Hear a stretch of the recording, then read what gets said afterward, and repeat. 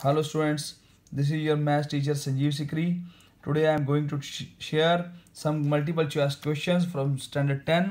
Students जैसे आपको पता है इस बार CBSE ने मैथ्स में भी मल्टीपल चॉइस क्वेश्चंस की प्रोविज़न रखी है तो जिसके लिए मैं आपके साथ आज शेयर करूँगा चैप्टर क्वाड्रेटिक एपी के multiple choice questions so students ध्यान से इनको देखिए and try these questions because these questions are going to help you in exams आपको चार ऑप्शंस गिवन है, जिसमें से आपको एक क्वेश्चन को टिक करना है।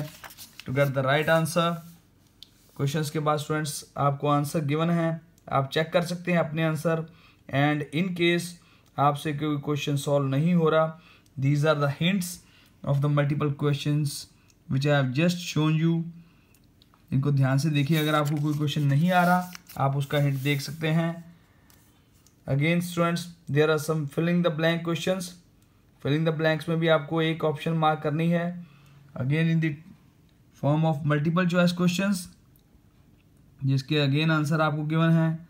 Then filling the blanks question जो आपको मल्टीपल चॉइस की क्वेश्चन के फॉर्मेट में भी आ सकते हैं. और हो सकता है स्टूडेंट्स ये छोटे क्वेश्चन आपको दो नंबर में भी आ जाएँ. तो इसको ध्यान से प्रिपेयर कीजिए इन क्वेश्चंस को. आपकी प्रैक्टिस के लिए few more filling the blank questions So students, these are the questions from chapter arithmetic progression for standard 10. Please keep on practicing these questions and following my channel Sanjeev Sikri PB05. Thank you.